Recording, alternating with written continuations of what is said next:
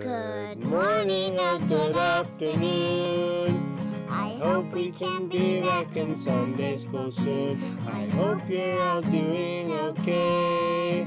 I hope that this time will brighten your day. So let's talk about Jesus and all that he did. Stuck inside, Oceanside kids. Hey kids, today we are going to talk about three things God says we need to do. These instructions come from the book of Micah, chapter 6, verse 8. The verse says, To do justice and love mercy and walk humbly with your God.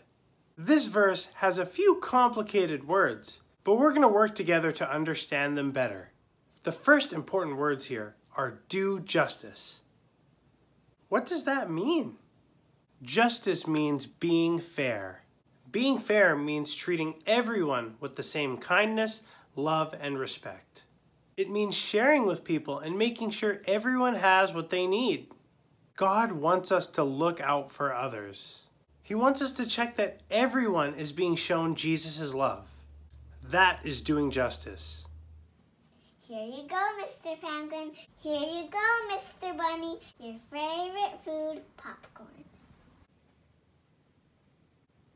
That's not fair!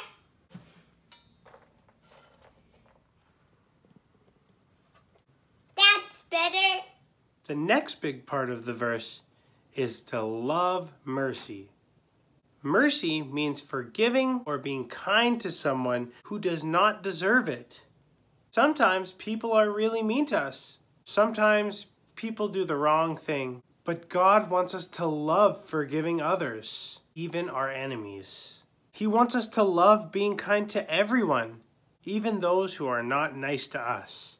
That is what it means to love mercy. Dad, these two boys were not playing nice. They need a consequence. They deserve a timeout.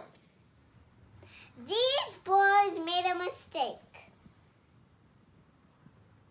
But I'm going to show them mercy. No consequences. And the last part of the verse is to walk humbly with your God. Walking humbly means not thinking we're better than others. The reason we're not better than anyone else is that we all make mistakes and we all need Jesus' help. God wants us to remember others and to put them before ourselves. We should also thank people when they help us and not steal all the credit for ourselves.